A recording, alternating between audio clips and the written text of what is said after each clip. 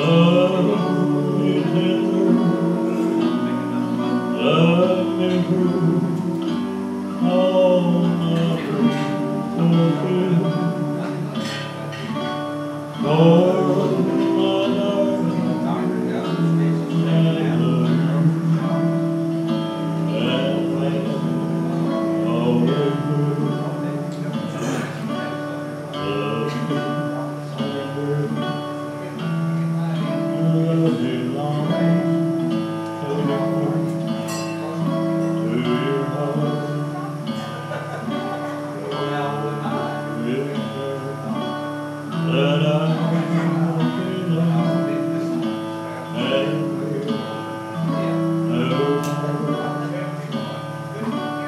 Oh.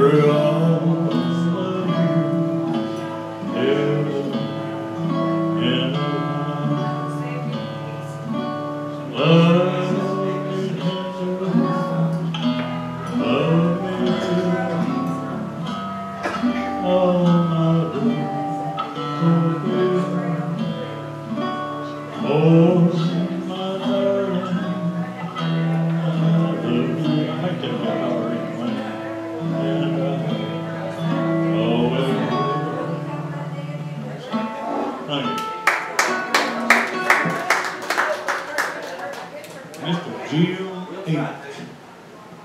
Next up, we have Darwin